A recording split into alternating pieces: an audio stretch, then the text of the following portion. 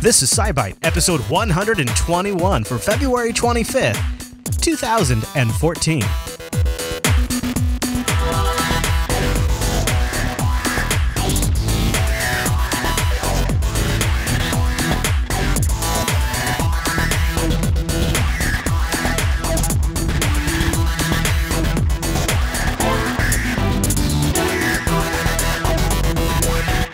Everyone, and welcome to SciByte, Jupiter Broadcasting's weekly science podcast, live on a Tuesday and fresh on a Wednesday over at jupiterbroadcasting.com. My name is Chris, and joining us every single week is our host, Heather. Hey there, Heather. Hey there, Chris. Hey, Heather, happy science to you. Happy science. So, what are we going to talk about today? Today, we're going to take a look at cell based cancer therapy, growing lungs, radiation free MRIs, 3D crime scene scanners, spacecraft updates, curiosity news, and as always, take a peek back into history and up in the sky this week. All right, Heather, well, why don't I initiate the science by pressing the news button?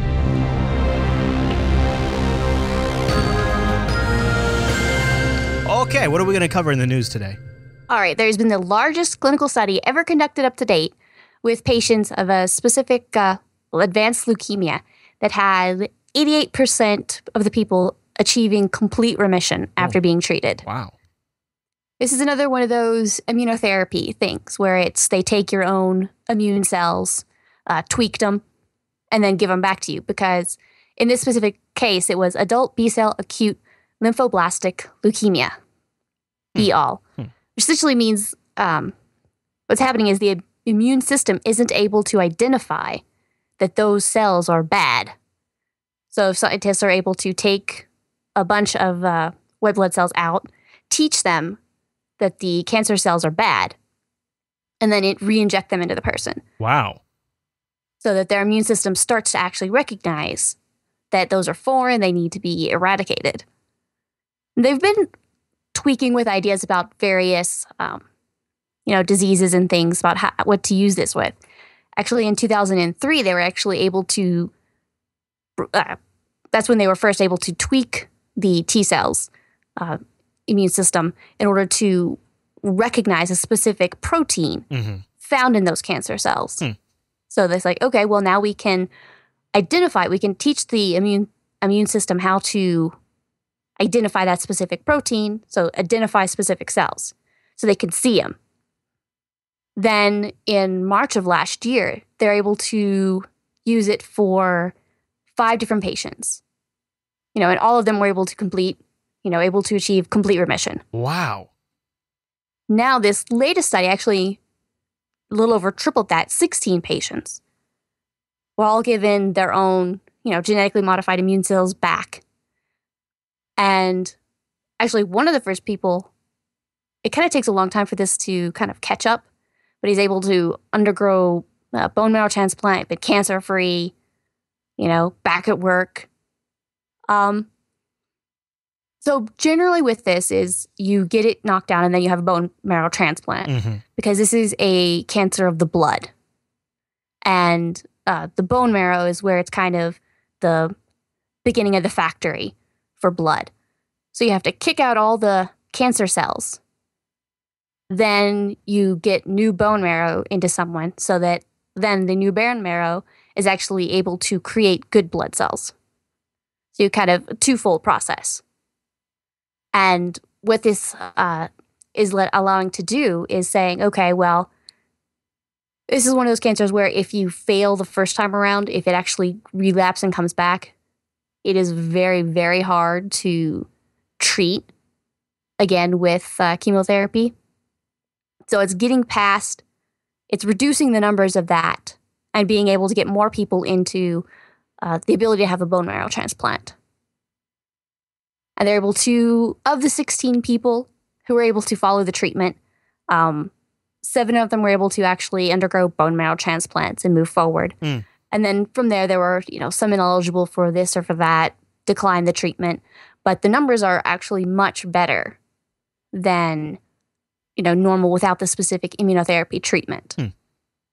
And so now they're kind of going along. They're like, okay, well, now let's see. There's some side effects to it, you know, kind of flu like symptoms type thing. So, how to manage that, how to develop uh, criteria and lab tests that can say, okay, well, which patients might be at greater risk for, um, you know, side effects or who might be better, who it might help better. Yeah. And of course, there's going to be a lot of additional, you know, studies to determine, you know, how well this is, works for this, and oh, can you actually use it for other cancers that are, you know, how can you use this knowledge here used into other cancer studies that are also going on of this nature.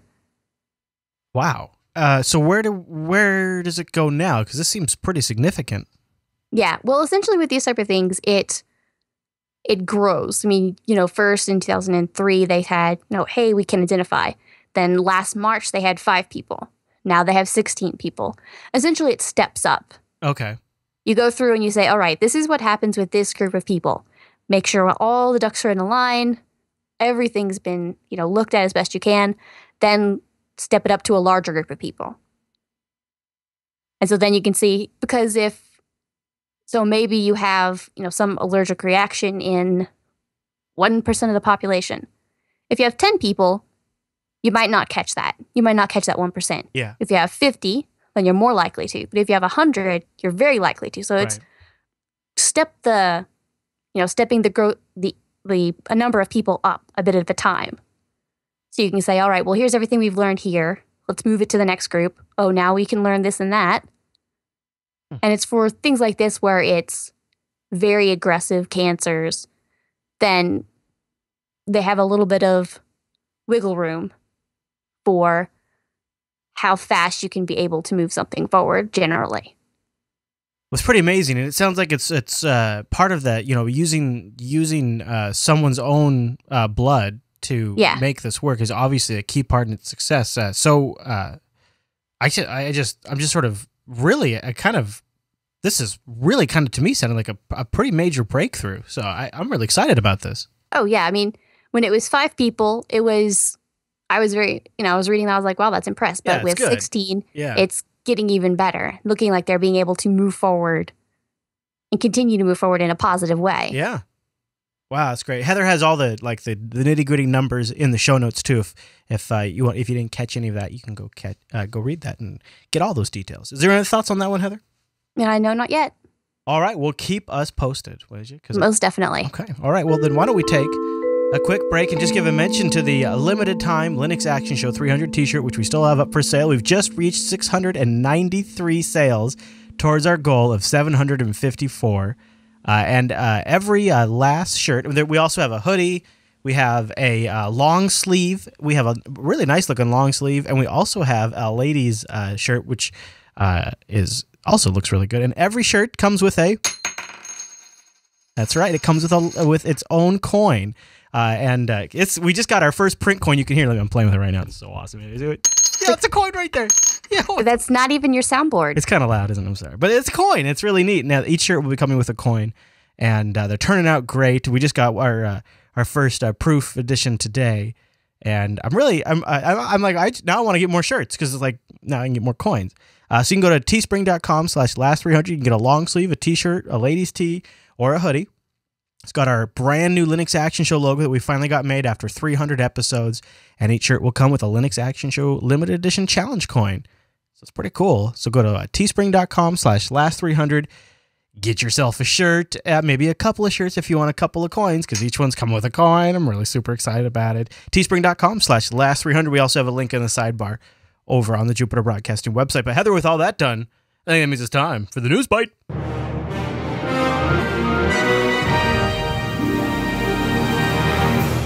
Okay, what are we talking about in the news bite? This is a story that sounds awesome, and the video is pretty awesome, and then it kind of freaks you out. Okay, I just read the headline. The researchers have actually, for the first time, successfully grown a human lung in a lab. Wow. I've So seen an not- ear. I've seen that. So this is a lung. Yeah, we've seen lungs. We've I actually have windpipes that have actually been implanted into humans. That's just uh, last spring. And there's a team in Boston who's actually implanted little grown kid- kidneys into rats. So they're looking at that.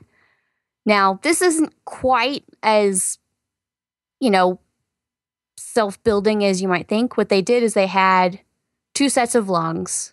Um, uh, from deceased juveniles, where one lung they stripped all the living cells out, so it's a scaffold of elastin and collagen. You know, like the stuff your ear is made up. As I'm wiggling my ear and no one can see it. Right.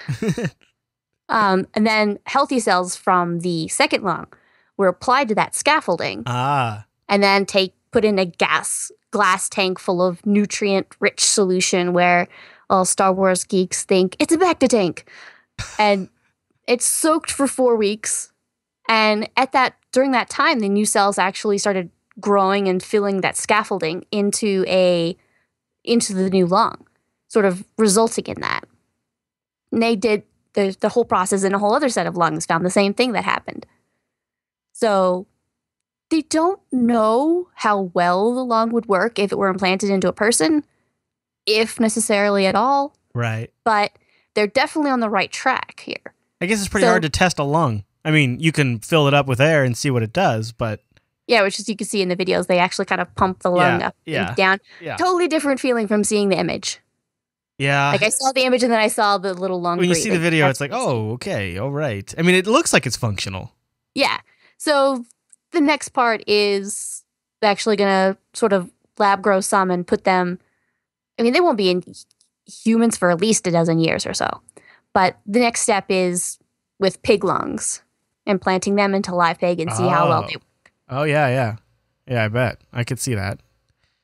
Oh boy, there's there's the shot right there. Oh, that is something else. That is just amazing, and it's interesting. They you you the term first of all they call it kind of a scaffolding, and Yeah. again they're taking known good cells from one from one lung, right, and they're putting it on that Mhm. scaffolding.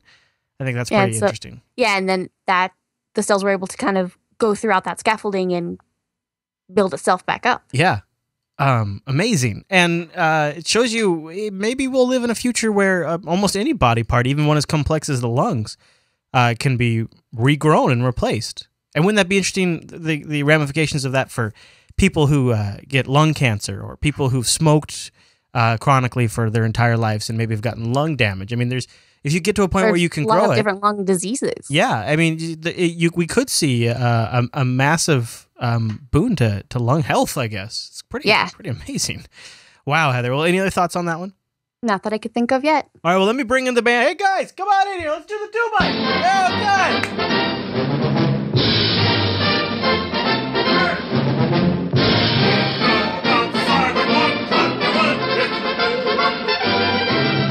All right, Heather. What are we talking about in the two bite news? All right, researchers have actually discovered an MRI based imaging techno- technique that could be as effective as other scanning methods without using radiation. Oh, good. So, this is especially interesting for um, uh, juvenile cancer detection. They're, they're getting a lot of MRI scans, kind of checking out what's going on. And if you could reduce the radiation levels there, it'd be really great. So, they've actually, you know, seen that you know, they have radioactive traces that they send in through part of your body for PET scan or an MRI scan. And that essentially exposes you to about 700 chest x rays. I've been there many times. They give you the little, or a number of times, they give you the little drip where it gives you little radiate radioactive stuff, little traces, and then, of course, in pediatric payment patients, very risky, could you know lead to secondary forms of cancer later in life, but they can. What they've st- had a study composed of 22 children, where it was actually shown that they could do this safely and effectively, be able to mimic that re- were with an iron supplement. Oh, They've actually shown before that iron supplements can increase the visibility on traditional MRIs with uh-huh. no adverse effects Huh. or reactions. So now they're looking at it like, okay, well, if we tweak the system just a little bit, you can run it off of the iron supplement entirely. only. Wow. So of course they're going to be, you know, stepping it up to larger groups of patients to make sure it actually, Yeah. you know, to confirm the validity of it. But this looked very exciting to me is that how to do this without the additional radiation. Yeah, and I wonder too, uh, like if this could be eventually lead to the kind of evolution in our technology where fifty or hundred years people look back and kind of go like, I can't believe they did that. I can't believe they they injected that into the body and then and then they scanned it like that. Like it, it might be one of those things where it might just sort of make how we do it today look really antiquated. Well, sometimes medical does that. I mean, if you look back 50 years and you go, Mm-hmm. wow, that's what we had. Mm-hmm. And now look 50 years in the future and say, wow, I hope we're that much farther along. Yeah, that's very true. Uh, speaking of kind of taking a leap ahead, uh, it sounds like there could be something almost like a tricorder in the works for, say, maybe police or crime enforcers. What's going on here? Yes.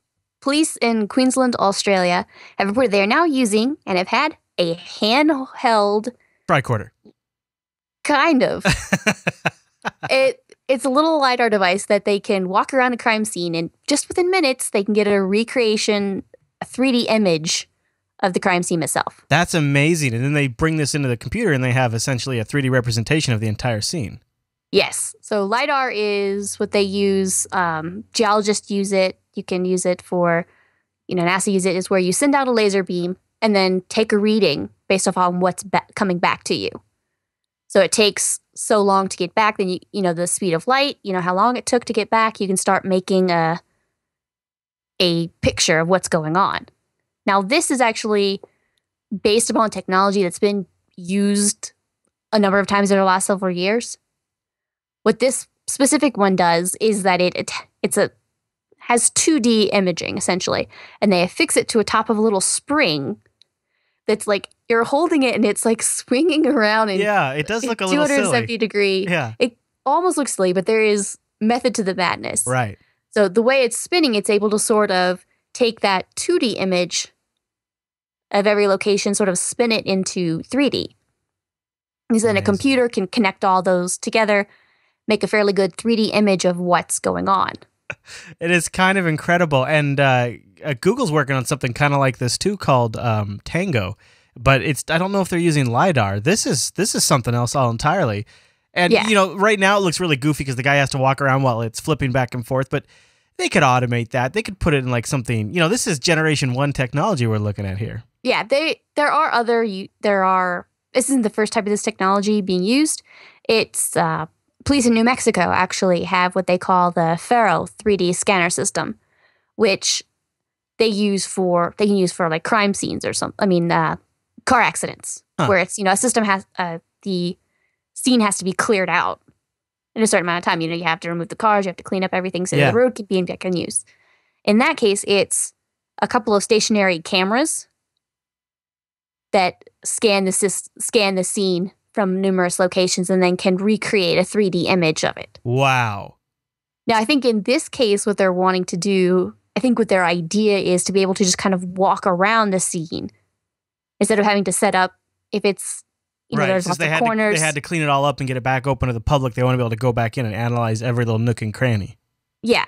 But in the this specific case, the Zebedee, I think they call it, is the little bouncing thing that looks funny. It's the whole idea is to be able to, if you're in an indoor situation, Yeah. then you know you could walk around an apartment or a house and you don't have to set up the camera in multiple different locations. You can just have somebody walk around and kind of get the information you need in order to recreate it. Uh, So- uh, the video that Heather has embedded in the show notes is really cool. It's worth watching if you're listening on the audio version of this. definitely. So these are kind of things where it'll be very useful. I mean, if you have, you know, like I said, automobile accidents, bad weather. I, I kind of want it for my house, and then I want to bring it into my computer, and then I want to like rearrange my furniture virtually. That's what I want it for. Can we just bring that technology Okay. to the consumer? I, I've I've played those games like where you ha- yeah. you know again you can just pick up and move yeah. furniture and stuff. And I was in my office once, and we were trying to rearrange the whole office. And for a split second, my brain thought, I just want to grab this and move it there. One, I'm like, no, it's not that easy. That's Yeah. right. I actually have to move it. Okay, Heather. Now this next part I'm a little concerned about because it might disconnect us. Uh, this is either going to be I'm not sure. This button either is a spacecraft update or it, it initiates an emergency saucer separation, uh, which would likely break the transmission since I would be then stuck in the star drive section of the ship. So stand Oh, by, no. Heather. Here we go. Oh, okay, good, good. It is a spacecraft update. You never know. You never know. I keep moving I- that button around. No matter how many times I tell you to move it to a safe place. Well, I move it next to another crazy button. I just got a lot of crazy I know. buttons. Yeah, that's what happens. All right. So, uh, what do we talk about in the spacecraft update? All right, Opportunity Rover. We've been talking over the last couple weeks how it had that mystery rock. It appeared out of nowhere. Yeah. And They were taking a picture. four days later, they had another picture. Talking about the donut, Lamo. right? Yes, the Mhm. jelly donut they called it. Yeah. Also Pinnacle Island. Uh, that's its official name. Where Oh. suddenly there was a rock right there in the middle of nowhere. They went, there wasn't a rock there four days ago. How did that happen? So then went the mystery and the riddle of everything. We go through everything. They finally found out for sure that it was a piece of rock that they had crushed a little higher up on the hill that had rolled down. As sure as they can be without actually having seen it, that's what happened. They were able to, they moved a little bit, drove a little far away, took back, looked at some pictures in order to kind of take a picture of the whole scene about what happened Mm-hmm. and they showed another rock a little further up the hill that looked very, very similar to the Pinnacle Island quote donut. Okay. So they kind of looked at that and they said, okay, that has the exact same, you know, odd appearance. And it was right in the trail of one of their wheels. So I was really most digging. likely happened is they driven They, eh, they mean, it's drug it a little 400 bit, right? pounds. Yeah. at 185 kilograms. They drove right over it, Yeah. crushed that little rock, and then one of them got, you know, sent across the summit and kind of rolled downhill. Oh, okay. Okay. Okay. So you mean aliens, we haven't just failed to notice them and then all of a sudden they accidentally left a jelly donut in the path of our rover, which turned out No, the only spotted. aliens that crushed that rock and made it fall down the hill are Earth aliens. That's true. We are aliens, aren't we? we are aliens on Mars. That's a good point. And they'd Well- actually, Well, I mean, they'd at it way. actually pulled in the orbiter, the Mars Reconnaissance Orbiter, to take a orbital picture of the whole area. Yeah. That's a great So picture could- too. because they thought, well, there was a really off chance that perhaps there'd been a meteor strike nearby and that it had blown a little chunk of rock that just happened to land near the rover. They doubted it, but check out all avenues. Right. So they looked around about a quarter mile radius, 400 meters, no fresh crater readings. And then they saw this broken rock. So All right, I'll take it, Heather. I'll take it. I'll Okay. believe you. I'll believe you. All right. Well, while we're talking about Mars, why don't we do a curiosity update? You ready? let's go. And liftoff of the Atlas V with Curiosity. Touchdown confirmed. We're safe on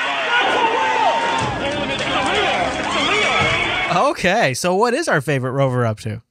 Alrighty, we spoke a couple weeks ago about how the poor wheels are getting some major wear and tear. Yeah. They got all dinged up, a little torn up. So they drove over a little sand dune to kind of get to a smoother patch of area.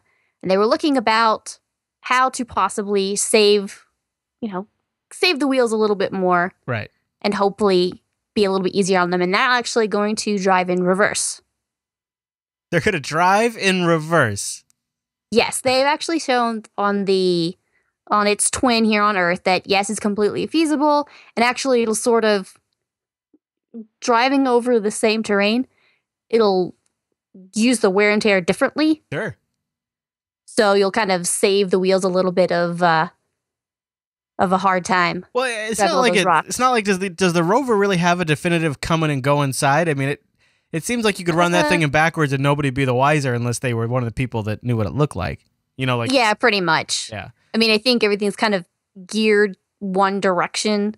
They have, you know, uh, an arm for one place. And like uh, Nogal in the chat room says, in one of the Spirit and Opportunity, when they've had problems and they had a wheel that broke down, they started driving in reverse. Yep. They're like, okay, we're going to drive in, quote, reverse now. So it happens. Hopefully, this will help uh, the wheel, save the wheels a little bit. Okay. So, on their way to their next destinations, they're kind of using the orbiter and their eye on the sky to kind of map out the new, smoother area that they'll drive backwards to to get to their next uh, science waypoint. Man, that reconnaissance orbiter makes a great partner.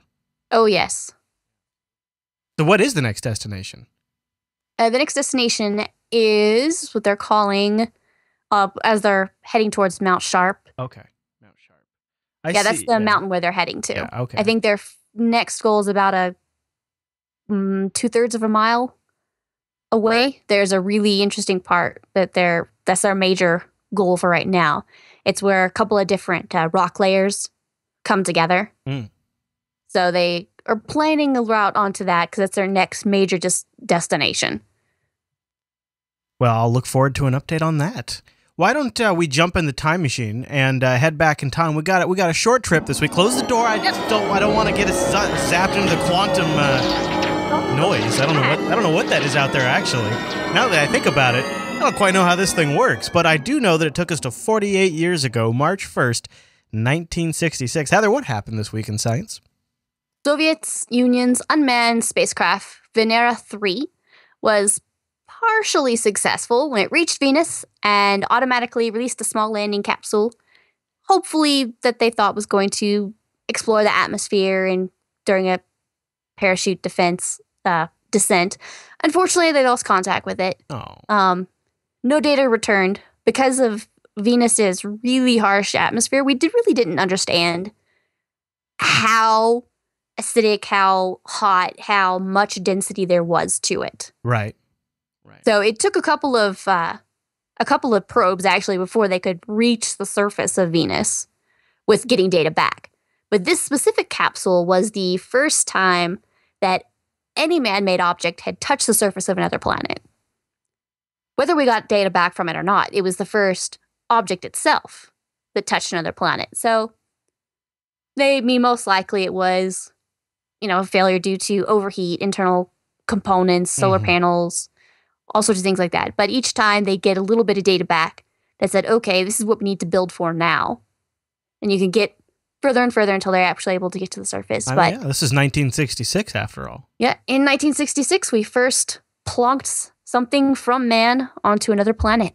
And we chose Venus as our target. That's pretty crazy. Yep. All right, Heather, well, let me recalibrate the SciByte 2000. That way we can look up into the sky this week. That is right. This week, we're mainly talking about the planets are the exciting thing. Okay. So we got Venus, visible before and during dawn in the southeast. It's at its actually brightest point this week. So it's going to be nice and bright out there in the southeast at dawn.